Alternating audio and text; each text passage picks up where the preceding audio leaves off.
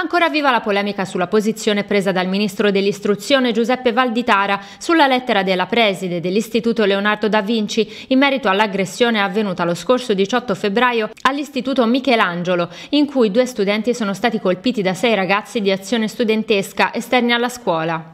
La lettera è del tutto impropria, aveva detto il ministro, una lettera destinata ai ragazzi da parte della preside Savino, dove ha parlato di fascismo, odio, indifferenza riferendosi a quanto accaduto, invitando poi poi alla riflessione.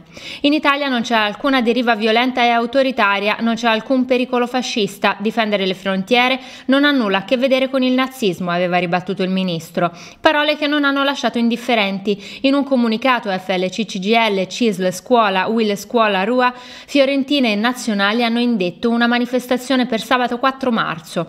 Una decisione, si legge nel comunicato, presa a seguito dell'aggressione e delle inaccettabili parole del ministro sulla lettera della dirigente scolastica. Una manifestazione alla quale parteciperà anche il neo eletto alla guida del PD toscano Emiliano Fossi e forse la neo eletta alla segreteria del PD Elish Lane, oltre all'assessore all'istruzione della regione toscana Alessandra Nardini. Personalmente io ci sarò perché credo che sia un appuntamento importante. Abbiamo tutti eh, ringraziato, l'abbiamo fatto io, l'ha fatto il Presidente eh, subito, fin dal primo momento, le parole, la lettera bellissima della dirigente scolastica che ha eh, riconosciuto e che ha espresso con quelle parole il valore educativo che la scuola deve avere. Io ho trovato veramente fuori luogo eh, e gravissime le parole del Ministro Valditara che non ha neanche condannato l'aggressione fascista squadrista vista che è avvenuta proprio fuori da una scuola. La regione toscana è orgogliosa della lettera e delle parole della dirigente scolastica che incarnano esattamente quello che la scuola deve essere.